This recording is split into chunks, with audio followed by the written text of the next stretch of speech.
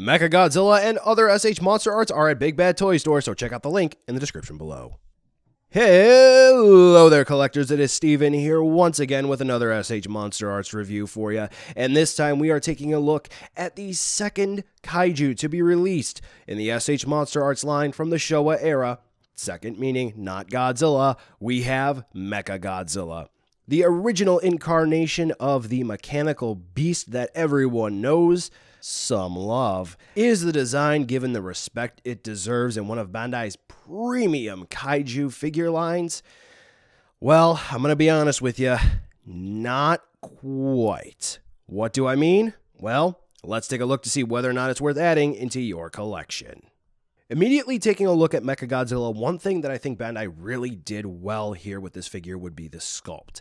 Proportions, uh, it's been subjective for some. They think that the jaw may be a little too big or too small, the head being off, but the detailing in this sculpt is fantastic, phenomenal. You can see all of the individual bolts that would be around the rib cage, the chest, waist, legs, all of that fun stuff.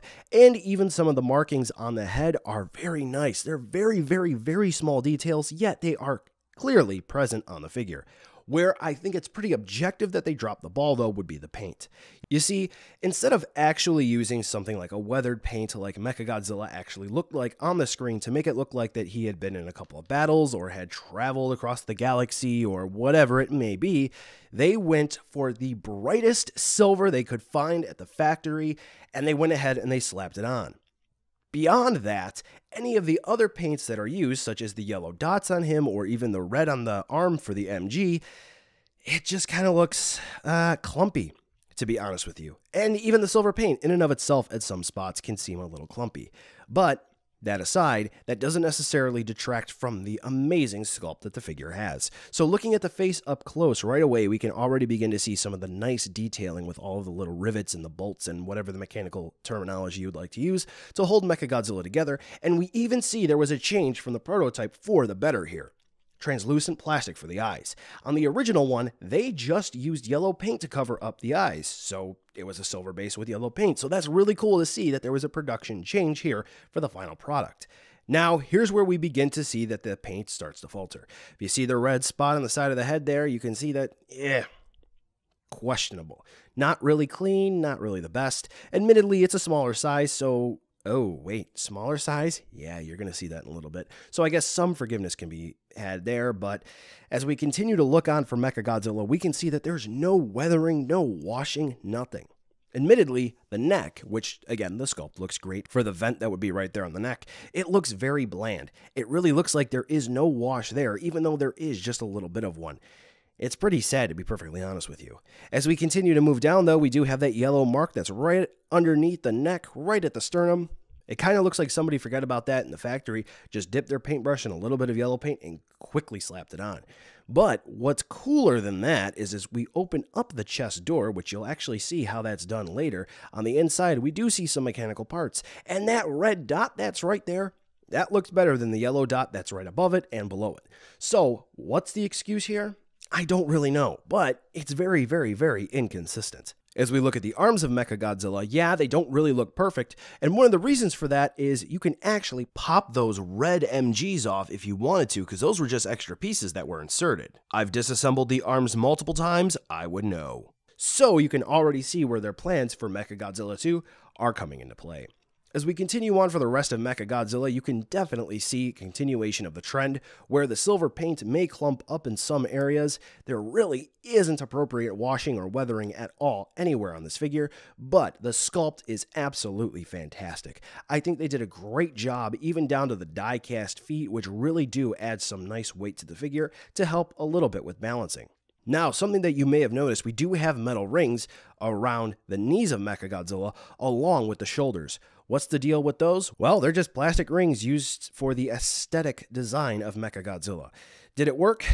Wait till the articulation section. Now we're going to take a look at Mechagodzilla's dorsal plates, and here's a good example of where the paint kind of pulled up and it doesn't necessarily look good. You see, the plates actually do have a little bit of texture to them, but as you look at them, you can kind of see swirls in the paint almost where it didn't completely dry. Yeah, No good there, guys. No good there. And then we have the tail, which does actually look very nice. And as you'll see soon, it does have some nice articulation. And that fin at the tip, mm, yeah, very, very odd. Overall, Mechagodzilla's sculpt is great, but the paint job really, really, really does hinder this figure. Yes, it does use some die-cast parts in key areas, but to be perfectly honest with you, it doesn't really save it from anything. Alrighty, so Mechagodzilla's articulation, to be quite frank with you guys, it's not very good. One, in terms of engineering, two, in terms of function, and three, because three is better than two. What do we have? A lot of people say that the jaw doesn't really look natural, that something is off. And the reason for that, it's on a double axis ball joint. So there's a ball joint that plugs into the mouth, into the head, and there is a ball joint that actually plugs into the bottom portion here of the jaw. So as you can clearly see, I can actually offset it like that and still have it kind of looking straight. Yeah, so that's not very good. He can do uh, some interesting things like the original SH Monster Arts Godzilla could do, which is not something a mechanical beast should do. But what you can do is you can actually center that correctly and you can have him close his mouth. And then once he closes his mouth, everything is just fine. You know, maybe some people should take that into consideration too. But anyway, we're going to be taking a look at the rest of the articulation now, and the head actually plugs into this portion of the neck on a ball joint. So we have a swivel Kind of. It rocks around too. That's what a ball joint does. Mine is very tight, so I'm worried about stress marks for that peg where the ball joint is at. Yeah, I'm kind of worried. But yeah, you can get Mechagodzilla to turn his head around completely for some iconic scenes. Now, you can get this Mechagodzilla into flying mode, and the way that that works is honestly, they kind of suggest that you have to push the dorsal plates down and pull them up. I mean, all you really got to kind of do is just do that.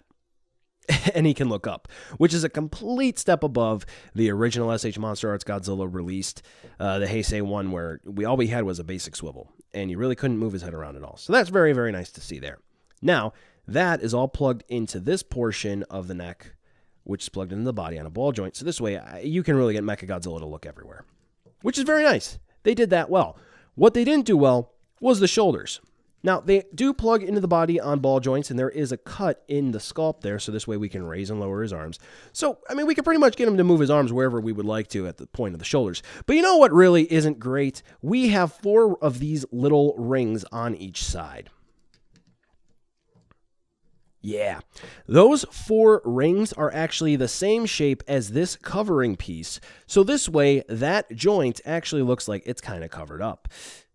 yeah, so people who complain about gaps for the likes of the 1995 mold birth version, you got what you wished for.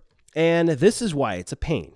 Those are the same shape as that covering. So they can fit into the shoulder joint area and they can get stuck behind the joint or get stuck in each other. See, these two perfectly good examples here that took me an hour to fix and make sure that they could actually be salvaged. And then here we are for this review, and I'm getting them stuck with ease. Now we uh, I just got another one stuck. Yeah. Um, can I get it unstuck here on camera? So you saw a third one jump in there. You can see it. It's there. Is it going to happen? Yes. Okay. I saved it. So if that happens to you, uh, basically all you have to do is just heat it up. The elbow plugs into this area here on a ball joint. This MG portion, that's actually just a sleeve. You can pop that off. And then you just got to pop the arm off and pull those out and put them back on. Not a huge deal, but it's a real, real pain. And I do foresee some people snapping some of these rings in the future. But anyway, elbow plugs into the bicep actually on a ball joint. So this way you can spin the elbow around a little bit. Very, very easy. This one, the hinge up here is stuck, but we do have elbow hinges which is pretty cool. Double hinge. And then we do have ball jointed wrists. So that's neat. So yeah, we do have some serious quality control issues at the shoulder. That's why it's a pain. And then this thing, yeah, just it's a floating piece. You can move it forward, you can move it back, you can do whatever you want with it. We do have a ball jointed waist or an ab crunch, whatever you would prefer to call that. So Mechagodzilla can lean forward, back a little bit, rock from side to side, spin all the way around if you would need him to for some reason. And then that door on the chest is just a hinge that pulls down. There we go. The hips, there is a Y joint system going on in here. So there is one central point and then they break off. And there are ball joints where the hips plug in. So there's that. Move about that far forward, that far back, about that far out to the side to do the splits. Then we do have double hinge knees, but they are blocked thanks to these other rings that are down here and this floating knee sculpt. Wonderful, wonderful, wonderful. The ankles are on ball joints, so this way you get a little bit of ankle rocker movement, but not too, too much. There you go. They are also made of die cast, the feet are, so yeah. That's fun. I did manage to pop, I think it was this foot off and then pop back on with ease. Now we do have the tail, which is all ball jointed goodness right here from the base all the way down to the tip here. But this section is pretty much pointless because we have this little blade on the tail that is kind of popping off already. Good job, Bandai. Yeah. So can move it from left, move it from right, move it from up, move it from down. And the cool part about that is Mechagodzilla needs to be a little bit more streamlined when he is flying. So there you go he can fly without his flight stand. So, if you're looking for an articulated Mechagodzilla figure, congrats, you got an okay one because there are some flaws both in the design of the character itself and in the design choices from Bandai here. So, Mechagodzilla doesn't really make for a nice action figure, and then they made dumb ring choices. Come on, flick off. Flick. There we go. That that was in the original part. I, I just wanted to include it in the second take. And for accessories, we have nothing. Oh, wait a minute. You know what? We do have accessories here with Mecha Godzilla. Look at that. Ah, cool. All right, so what do we have? We have interchangeable hand parts to make it look like Mecha Godzilla fired off his finger rockets. And are you ready? We have a beam effect. It's the chest beam. Yep, Instead of the iconic eye beam, which Mechagodzilla is known for, instead we get this yellow chest beam. So cool. All right, so for the extra hand parts, really all you have to do is just pop them off and then pop the new hands on. Not that difficult to do. By this stage of the game with SH Monster Arts, you know what you're doing. And they actually do look very nice. You can see inside them and you can actually see what looks like the missiles actually did fire off, so that's cool. Unfortunately, one of mine has a chip on the finger, but you know what? I'm not really going to hold it against it because that is something that I very, very, very well could have done myself. Now, for that beam, it does come with a support stand. Why they didn't include just a normal Tamashii Stage Act 4 support base and arm for this one, I don't know, but they decided to go ahead and make their own, which also includes the copyright information. It can be a little bit of a pain in the butt to actually pop that ball joint into the beam itself, but you just got to try to be very forceful but careful so this way you don't snap anything because the beam actually is made of a very, very stiff plastic. But anyway, it does look a little cloudy, and I do have some floaters in mine, which isn't very nice. Yeah, all you have to do is just pop everything together and then open up the door on Mechagodzilla's chest, line everything up, and there you go.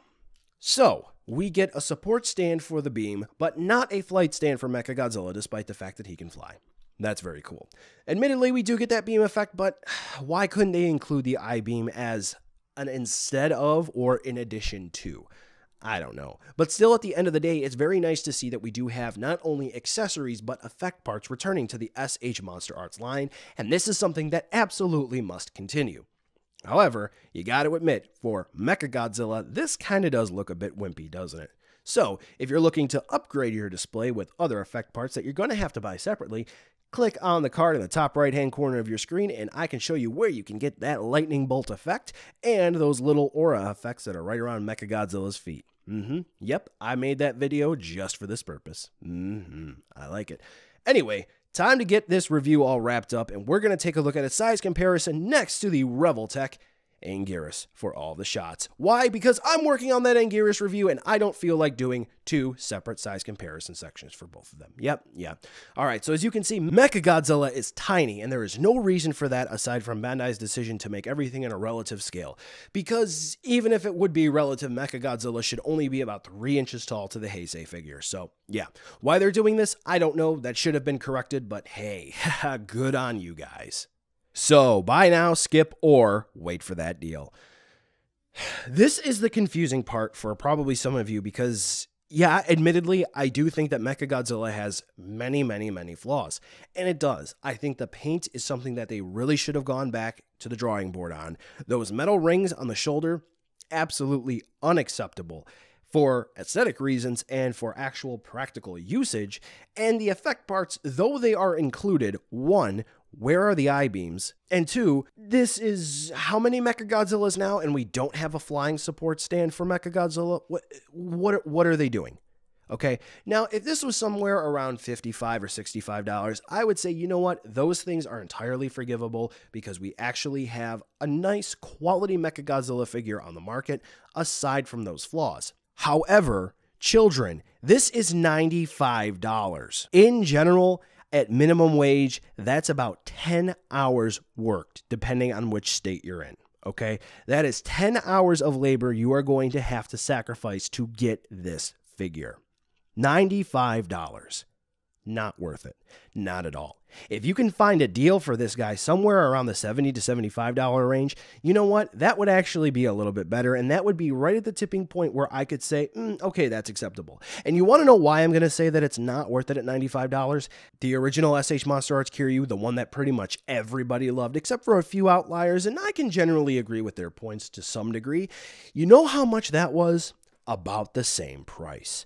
So ask yourself, is this Mechagodzilla here with engineering flaws and paint flaws equal to the amazing figure of the year winning Kiryu that we got in 2013? Is it the same? Is it really the same? If you say no, don't pick up this figure. Otherwise, if you're a Mechagodzilla fan, 1974 specifically, this is a solid figure, but it still does have flaws. Well, folks, that's the end of this review. Thanks for watching, and be sure to follow me on social media to catch more behind the scenes shenanigans and updates. The end card should be popping up now with more hand selected STR goodness for you to watch, so check out some of those videos. Be sure to check the description too to see where you can buy this figure or others like it, and some cool links like the credits for this video and other ways you can help out the channel. Thanks again for watching, and I'll catch ya in the next